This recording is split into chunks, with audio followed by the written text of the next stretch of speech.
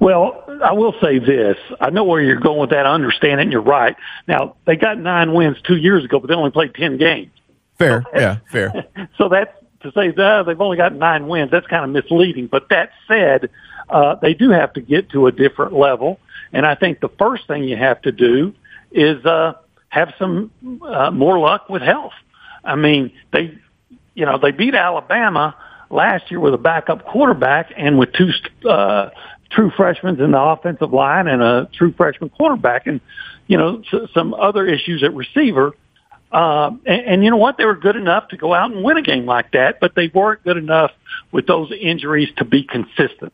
And then you saw that and you know some of their losses to LSU and and Ole Miss and uh, Arkansas and, and and like that. So uh, I think if they can stay healthy, uh, you can say that of course just about any team. Uh, everybody looks better if they're healthy.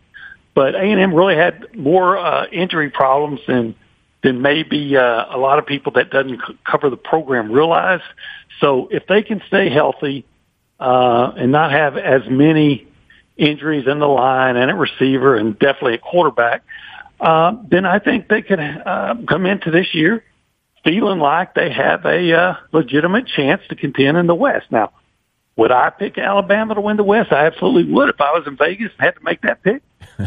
but um, but I do think that uh, if they're healthy, that A and M has a team that or, or projects to have a team that's good enough to uh, you know to contend. And I think A and M's all uh, their their goal all along uh, since they've been in the SEC should have been to try to become uh, Alabama's primary threat in the West. And, you know, this might be the year that they are.